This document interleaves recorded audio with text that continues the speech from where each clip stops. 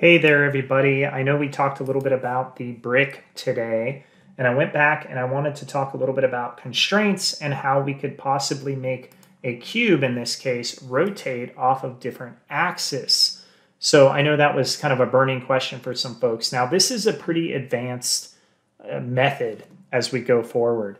So again, this is not the easiest way to do it. The easiest way is to just have multiple bricks, turn your visibility on and off.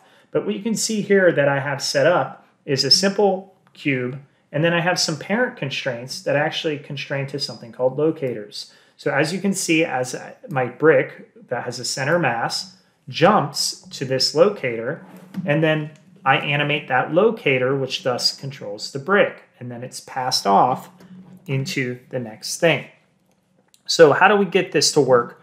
Well, um, again, a little complex, but uh, not totally undoable. So let's go ahead and make a new scene and I'll show you. So we need to kind of know what pivot points our brick or our cube in this case is going to rotate off of. So we're going to create a cube first, and then I'm going to create two locators, which are under create locator. And you can actually just duplicate one if you really want. So do control D and pull this one here. So these are locators. These do not render. These are invisible.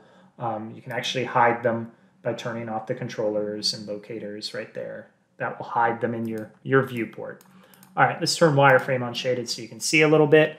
And let's go ahead and get started. So initially we want to set some keyframes and it's as easy as this. So we're going to set um, our brick kind of falling from the sky. Maybe 10 frames in, boom, the brick falls. And we're going to just add another keyframe there to get it a little bit more worthy. Now I'm going to go ahead and snap my pivot points. So I'm going to hit W and then I'm going to make sure that I push my middle mouse button down and that will actually, if I'm holding the V key, I can snap my pivot point, in this case snap my locator, to that specific control. So we have keyframes here. It ends at frame 10. Well, I want to, again, use this as a controller for this cube. So we want to do a parent constraint. Let's go ahead and make a parent constraint like we learned today. I'm going to grab the locator, I'm going to shift select and grab the cube. Constrain, parent, and in this case, I'm going to just keep everything default and hit apply. Now, when I do that, you're going to notice, oh no, my animation went away.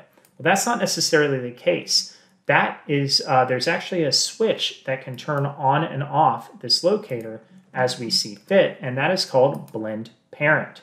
So what we need to do is from frame one, if I type zero, binary, turn it off, and I set a key on frame one, key selected, blend parent, and I go to frame 10 and I key it, that means for frames 1 to 10, it's off. And then I can go to frame the next frame, in my case, it's actually frame 11, but or number 12, and I can turn this on. And when I turn that on, it doesn't seem like much happens, but what actually happens now is I passed it over to this controller. So I'm going to go ahead and set a key for that controller on frame 12. And then I'm, because I have a parent constraint, I'm going to rotate that cube downward to frame 20. So now what we've done is kind of a handoff. It's blended, it's not on. It goes down, boom, and now it reads the new pivot point on frame 12.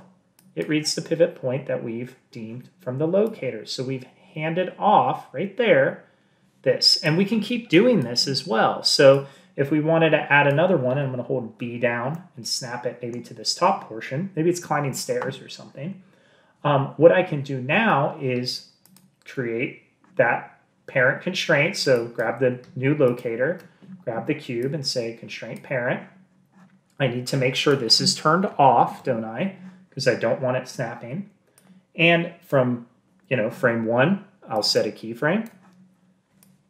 It will go here, it moves. And I want it to go to frame 20. I still want that to be turned off, obviously. But now we have a unique situation, right? So we can see that our blend parent, right, turns on, but it, how does it control between the two? So now I'm actually have to set keys on my parent constraint. And you can see now I have locator 1 and locator 2, which are both on, meaning this cube is influenced by both. So what I'm going to want to do is look at my cube and say, okay, So that cube is influenced up until frame 20 with locator 1. So I can set that for frame 20 and I can turn off locator 2 for frame 20. And then I'll just go back in time and I'll set, you know, just keyframes just to be safe on these as well. So everything still passes. And now on frame 21, I want it to hand off. So I'm going to turn locator 1 off, set a key. That's just the next frame. And turn on locator 2 and set a key.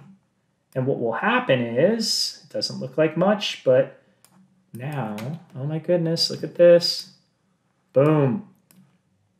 We can set some keyframes. How cool is that?